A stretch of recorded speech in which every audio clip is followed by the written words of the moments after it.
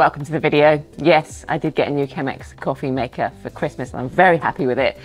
If you're an expert in Chemex coffee, please don't judge. Uh, I'm learning very much on the go here, but it tastes pretty good and it's given me a little bit of fuel to make this video. This year, I wanted to share a little bit of more kind of around the process of making photos, uh, both getting out there and shooting them and the pre, the planning and the thought process that goes behind making them. I thought I'd kick this off because I did this really awesome shoot between Christmas and New Year where I wasn't actually expecting a majorly good outcome, but it turned out to be so good and really just reminded me that despite weather, despite the conditions or places that you might have been to before, it's always worth going and just trying to make a slightly different slant on it.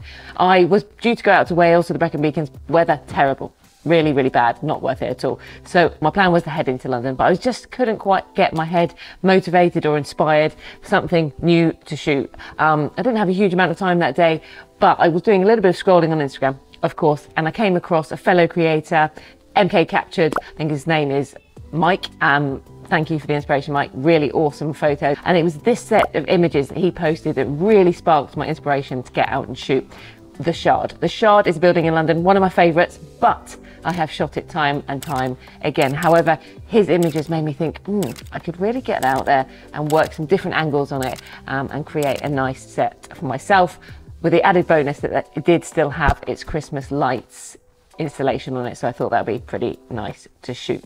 So I'm going to take you along. I didn't manage to capture the full vlog that I wanted to, and this is something I I'm vowing to myself and to you to improve on for 2024 is to capture more uh, behind the scenes things and explanations of how I'm taking my photos and what I'm thinking about in terms of compositions, angles, lenses, kit, etc. But I did capture a few bits, so I'm going to do a talk over and share these images with you because, as I said, really, really pleased with the outcome. And I've been posting a few of them on my Instagram as well. So little plug, you can go check that out as well. And I hope this gives you a bit of inspiration to go out there and shoot, despite the weather, despite the location, somewhere you've shot before. Um, and yeah, it's going to be a great 2024. Can't wait to get it going. Um, enjoy the voiceover, and I will look forward to seeing you in the next video.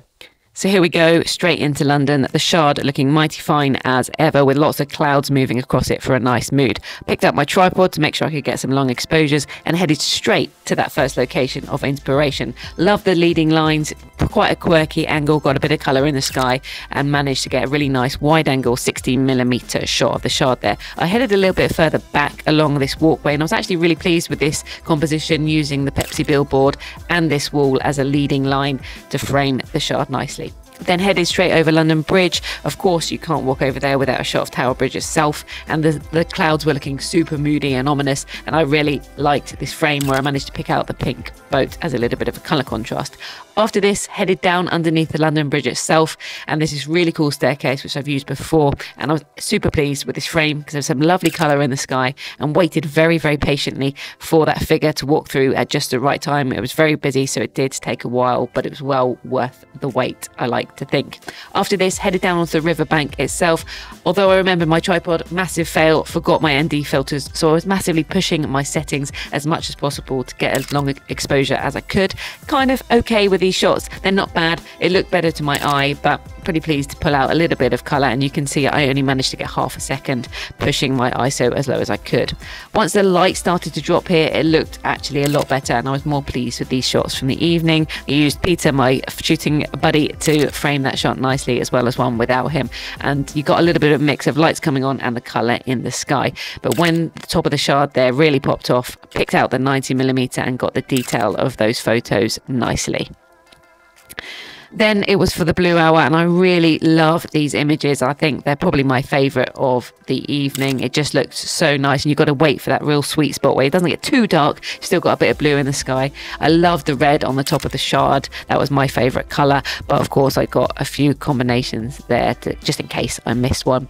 Headed back down to the bridge after this, and these are my absolute banger shots, if you like. And I love the Christmas tree on top of the shard. That was my favourite composition there of the night, just under the bridge, using the staircase at night. And I hope to be doing more of this in 2024. This uh, summarizes um, my emotions of the evening. Super happy, sitting on a wall with my tripod in front of the shard. What more could you want from a photo shoot? Really hope you enjoyed this, and I look forward to seeing you in the next video.